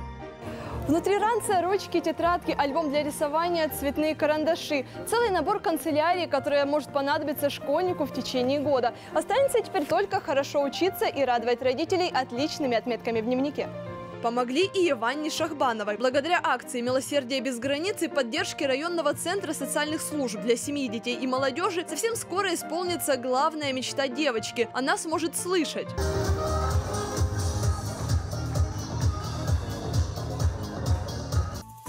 Городская администрация вместе с местными предпринимателями помогают малоимущим семьям с ремонтом, организовывают детям досуг, собирают их в школу. Наши предприниматели, представители всего, всего сообщества Черноморского района оказывают помощь детям из малообеспеченных семей. Мы же прекрасно понимаем, что не у каждого ребенка сегодня есть возможность достойно собраться в школу. И не зависит это от ребенка. Но так оказалось в жизни трудный момент, а мы должны помочь. До начала учебного года осталось меньше недели. Теперь, когда все необходимые принадлежности в рюкзаках, оценки в дневнике зависят только от старания самих школьников. Татьяна Балыкина, Алексей Семенов. Утро нового дня.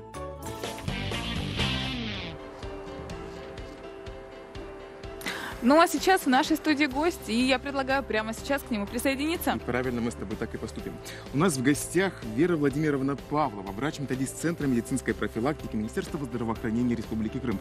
Повторюсь, мы уже говорили о том, что дети собираются в школу, совсем скоро прозвучит первый звонок. Но вот на самом деле не только карандаши и ручки им нужны, а еще и медицинские справки. Да, и хотелось бы узнать, какие именно и что для этого делают. Вот для этого да? мы и пригласили гостя, который нам все-все расскажет. Доброе утро. Здравствуйте. Доброе утро. Традиционный вопрос. Как началось ваше утро нового дня? Благополучно, вполне. Я приехала к вам в такую замечательную студию. У вас есть кто-нибудь, кто собирается в школу в а, вашей семье? Нет, меня нет, у меня уже взрослый ребенок. Вот мы традиционно знаем, да, что для того, чтобы пойти в школу, нужно купить тетрадки, ручки, карандаши. А вот по поводу медицинской подготовки, что родители должны знать, как подготовить своего ребенка? Ну, а, на самом деле мы сегодня встречаемся уже довольно поздно для того, чтобы готовить ребенка к школе в этом плане. Можно сделать какие-то последние приготовления, которые не успели сделать. А, вот. Ну, естественно, родители, у которых детки идут первый раз, они обычно э, наиболее насторожены. Им они уже давно должны были подойти в школу, узнать э, и э, собрать э, те медицинские документы, которые им нужны.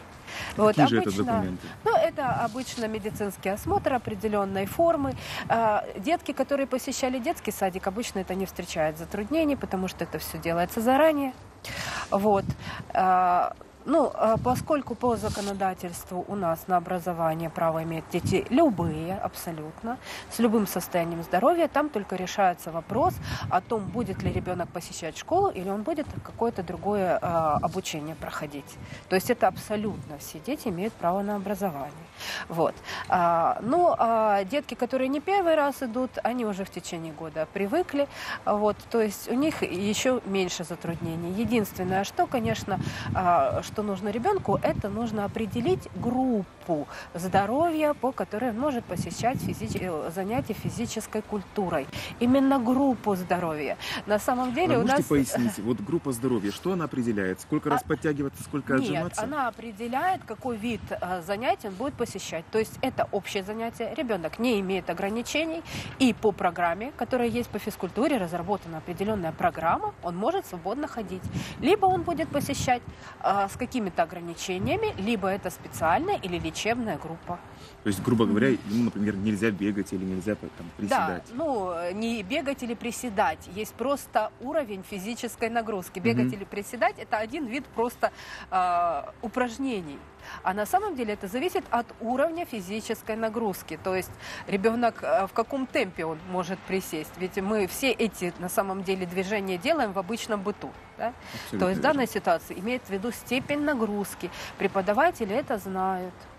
Вера Владимировна, mm-hmm. вот очень актуальный вопрос, я бы даже сказал злободневный. Пустят ли в школу без прививок?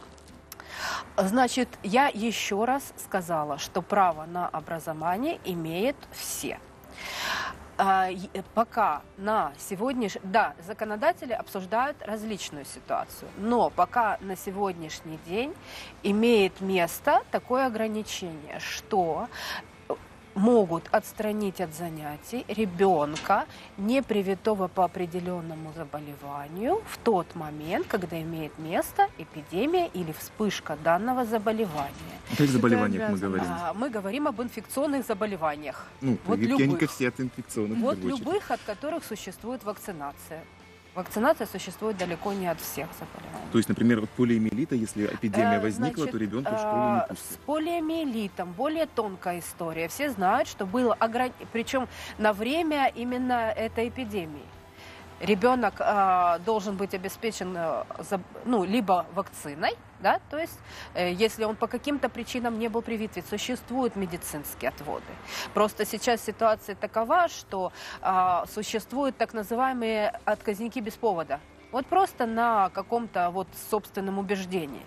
А существуют медицинские отводы. То есть этому ребенку нужно обеспечить занятия на дому, он в школу ходить не будет на время э, этой эпидемии или вспышки. С полиомиелитом ситуация была несколько иная. Полиомиелит, полиомиелит крайне тяжелое заболевание, вот, которое не протекает без осложнений, к сожалению. То есть не обязательно это смертельно, но это обязательно будут осложнения. И была вспышка. И прививали детей именно для того, чтобы они не заболели. Но поскольку вакцина от полиомиелита живая, да, то ребенок, который не привит, может пострадать от этой вакцины. Тогда не возникает какое-то разви... развернутого заболевания, но все равно ухудшение состояния может быть. Поэтому с целью защитить детей непривитых от свежепривитых был ограничен доступ, но он же ограниченный. Понимаете? То есть это не значит, что ребенок не будет учиться. Вот есть сроки, да, привили угу. детей в школе. И существует определенный срок, на который ребенок по какой-то причине, либо он не привитой, либо отказник, не будет посещать, потом он выйдет и будет снова посещать этот же класс. Вот вопрос касательно ветреной оспы. А, сейчас, я знаю, активно стали прививать от нее, но в мое время говорили, нет, что-то ребенок должен обязательно переболеть, и тогда будет иммунитет и никогда не заболеет. Ситуация как заключается сейчас? в том, что изменяется э, уровень здоровья, к сожалению, он э, изменяется не просто в сторону, допустим, ухудшения, нельзя сказать, но э, модифицируется. Да? Сейчас, допустим, э, из, э, реакция организма ребенка на то или иное заболевание отличается. И не всегда еще раз подчеркиваю, mm-hmm. есть люди, которые абсолютно классически переболевают и дети, их таких большинство, но могут быть отличия. Мало того, еще и вирусы имеют привычку. Конечно, вирус ветряной оспы, он достаточно э, медленно модифицируется, не так, как вирус гриппа, но могут быть какие-то нюансы. И поэтому для того, чтобы избавить ребенка от тяжелого течения этого заболевания, предлагают внести эту прививку в календарь прививок, чтобы ребенок просто просто не заболел. То же самое касается, я полагаю, и паротита и краснухи. Паротит и, краснухи, э, э, вакцина, вакцинация от паротита и краснухи входит в обяза календарь обязательных прививок. Слово «обязательный» – это значит то, что государство обязано предоставить родителям данную вакцину в положенные сроки. А как сейчас обстоят дела? Есть вакцины? А, ну, насколько я знаю, проблем не было. Насколько это мне известно. Это не может не радовать. Это действительно хорошая новость. А вот да. что касается еще таких документов, то есть мы с вами обсудили вот эту самую страшную прививную карточку. Она а, абсолютно не страшная. Страшная. Просто очень многие боятся, конечно, боятся почем зря, но тем не менее дело не в этом, дело в том, что это просто занимает у родителей достаточно большое количество времени. В наш э, такой бурный век вот в этом э, заключается ситуация. Кроме того, и ребенок, когда идет впервые в школу, да, он предоставляет эти документы. Затем ребенок должен получить а, а, диспансеризационный осмотр, да, то есть мы э, проследить за здоровьем ребенка. Это не значит, что это нужно сделать 30 августа. То есть определенный есть, есть такое правило. А, ребенок осматривается определенными специалистами в, среди, в связи с определенным возрастом. И вот родители просто, чтобы не вызывать ажиотаж, знают, что ребенку исполнилось 7 лет. Обратились к педиатру. Каких специалистов должны э, в этом возрасте смотреть? И в течение года осматриваются и приходят а, в следующий класс с этим документом непосредственно вот документ, который нужно к 1 сентября предоставить, это для того, чтобы учитель физкультуры знал, как нагружать ребенка на, на уроки физкультуры. Все остальное можно сделать заранее. Так же, как в течение года можно приобретать тетради в клеточку, в полосочку. Единственный вопрос это о том, что дети растут, поэтому форму и обувь родители не могут купить да, сильно заранее. Но некоторые покупают по 3-4 раза в год, поэтому ажиотаж, который у нас возникает перед школой, вызван нами самими. Мы все э, хотим все сделать в последний момент. Ира Владимировна, и у нас осталось буквально 15 секунд. Мало, но тем не менее я вас прошу обратиться ко всем, кто идет в школу, кто начинает новую жизнь школьную уже, пожелать им здоровья. Я желаю здоровья, и я желаю душевного спокойствия. Не нужно переживать. Все детки должны выучиться и будут выучены. И э, самое главное, это чтобы родители верили в своих детей. Я добавлю, что самое главное, чтобы дети были здоровы. Напоминаю, в гостях нашей студии Вера Владимировна Павлова, врач-методист Центра медицинской профилактики Министерства здравоохранения Республики Крым. Ну а мы идем дальше и с удовольствием хотим предоставить нашим крымским телезрителям информацию, которая происходит на территории нашего Крымского полуострова, но находится сама эта информация в интернет-сегменте. Неравная борьба развернулась в столице полуострова. Чем собака не угодила хозяину, неизвестно. Но просмотрев видео до конца, становится ясно. Для того, чтобы выместить агрессию на четырехлапом, молодому человеку причин не нужно. Очевидцы произошедшего надеются, случай не останется без внимания представителей правопорядка. Лето в Ялте – настоящее испытание для автомобилистов. Порой на поиски места для парковки уходит слишком много времени. У этого водителя, по всей видимости, таких сложностей не возникает. А то, что люди не могут пройти к детской поликлинике – не его проблемы. Не теряя ни секунды, увидев, как автомобиль вылетает за границы проезжей части, очевидцы ДТП побежали на выручку. Выломали дверь, достали сиденье и помогли людям выбраться. На данный момент причина инцидента неизвестна. К счастью, обошлось без пострадавших. На пути в Крым не может быть преград. Не сговариваясь между собой, автомобилисты убрали с дороги рухнувшее дерево. Всего пару минут и поток машин двинулся дальше. Добиться можно всего, стоит только захотеть. Если природе по плечу разрушить асфальт, то для человека уж точно нет ничего невозможного. Шампиньоны. Просто жесть. Словно по щелчку, двигаясь по Феодосийской трассе, автомобиль вспыхнул без видимых на то причин. Огонь распространился по кузову моментально. Сначала водитель надеялся справиться с возгоранием самостоятельно, но вовремя одумался и позвонил по номеру 101. Ну что же, я предлагаю снова воспользоваться магией телевидения. Сейчас, Саш, заметил, очень теплая погода, приятно находиться на 16 этаже жилого комплекса «Альфа», а сейчас немножечко ниже, а где-то на улицах крымской столицы находится наш мобильный корреспондент Александр Кононов, и мы уверены, сейчас он что-то очень интересное нам расскажет. Доброе утро, Саша! Доброе утро!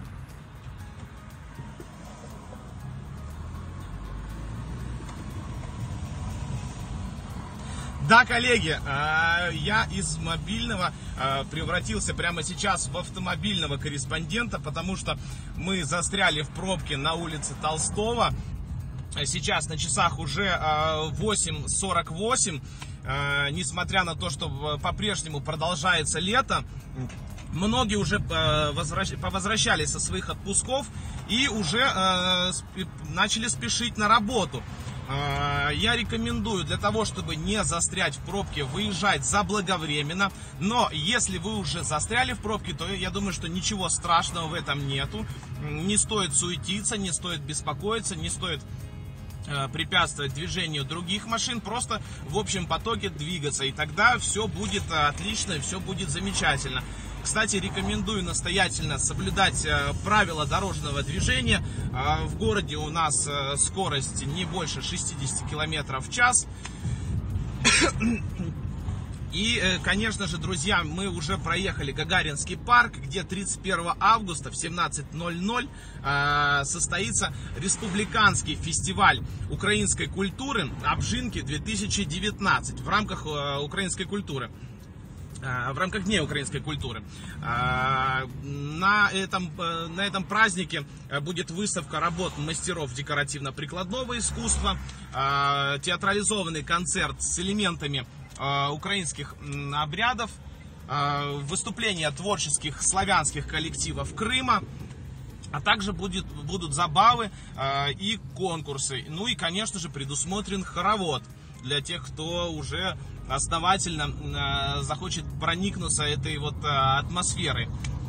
Гости мероприятия э, смогут сфотографироваться на фоне пшеничных снопов, которые там же будут находиться. И вот, в принципе, на этом, коллеги, у меня все. Передаю вам слово.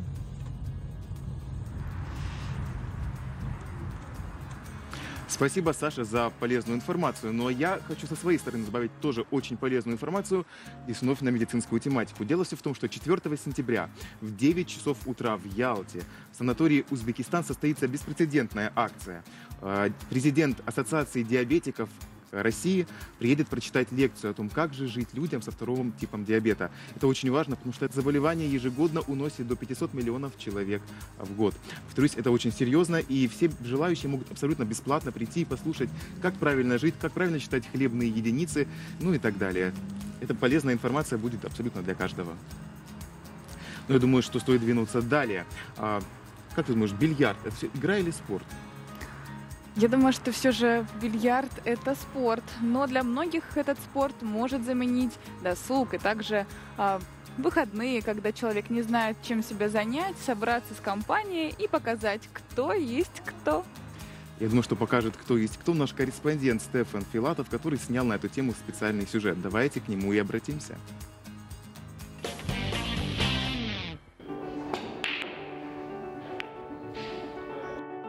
Зеленое полотно, лузы, шары и кий. Бильярд появился в середине 15 века и до сих пор игра почти не изменилась. Сегодня по этому виду спорта проходят соревнования и чемпионаты. Призовой фонд в бильярде – один из самых больших. Миллионы человек мечтают получить титул лучшего из лучших и выиграть приз.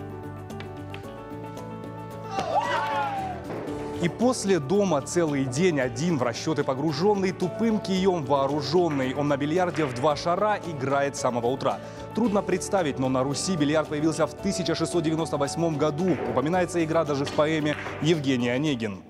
В России игра моментально обрела народную любовь, однако многие, включая Петра Первого, который привез заморскую диковинку из Европы, сочли бильярд слишком легким занятием. Появление русской вариации или же пирамиды не заставило себя долго ждать. Шары стали больше, лузы меньше. Появился красный биток. Теперь каждый удар строился на контакте с ним.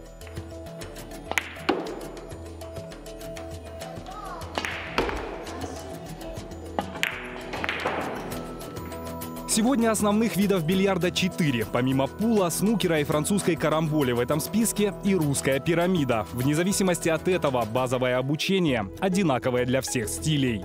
Желательно, чтобы в первую очередь акцент был на стойке, это базовое. А Второе – это психология. Что вы имеете в виду, говоря вот о психологии? Психология подразумевает это а, полная концентрация, то есть умение владеть собой, своим настроением, чтобы э, мысли были запечатлены только на победу. Как и в других видах спорта, обучаться игре в бильярд лучше с раннего детства. Без специальной подставки до поверхности стола ребенок не дотягивается. Однако недооценивать эту девочку не стоит. Фору готова дать многим. За полгода тренировок пятилетняя Мишель не раз становилась победителем различных соревнований. Я хорошо бью, но я хочу еще лучше научиться и бить, как мой тренер. Молодец.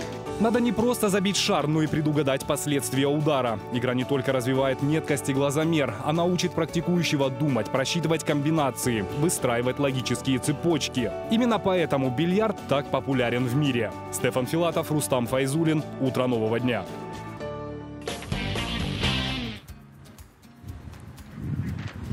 Дорогие друзья, к сожалению, время нашего эфира подходит к концу, но мы с вами не прощаемся. Желаем хорошего дня и обещаем встретиться уже буквально завтра, совсем скоро.